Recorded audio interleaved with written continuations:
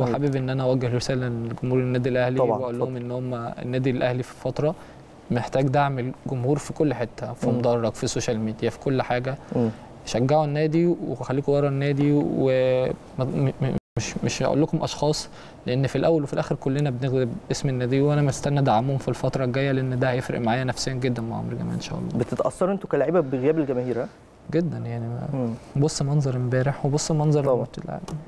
موضوع مختلف نورتني وشرفتني يا عمرو كانت حلقة رائعة وأنا انبسطت طبعا. مش عايزين ننسى إن إحنا نعزي جمهورنا طبعا طبعاً، 74 شهيد في. القلب وفي أكيد. الجنة بإذن الله ونفضل نخلد ذكرهم حتى نلقاهم إن شاء الله بإذن الله نورتني وشرفتني وبتمنى لك دايما التوفيق وترجع تتألق إن شاء الله مع النادي الأهلي. شكرا